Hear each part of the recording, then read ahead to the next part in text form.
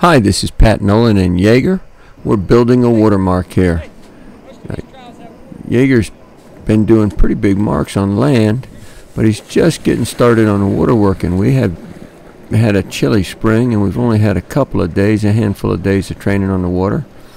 Uh, here we teach the first leg or first segment of this watermark, and then we move the gun. The line stays the same for this setup. We move the gun. So now he gets re-entry into the channel. This would be the second segment. The first segment was establishing that line. This one is showing the re-entry. As best as we can, that second mark falls on the same line as the first one, so he just takes the same line out but crosses that next obstacle.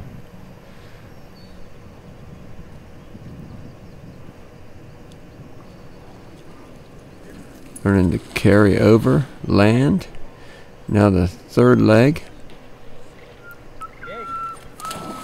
And throwing the mark into the next bay of water. And again, as best as I can, it's on the same line. So he gets, can't see the gun or the mark there. Re-entry, you can see the gun and mark. I throw a helper there just to try to encourage, pull out, make it easier. And crosses the next body of land there and punches on out into that bay. That's one way to build a mark with a youngster uh, who does not yet handle on the water.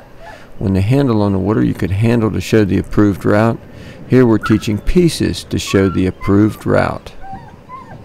Nice job for Yeager.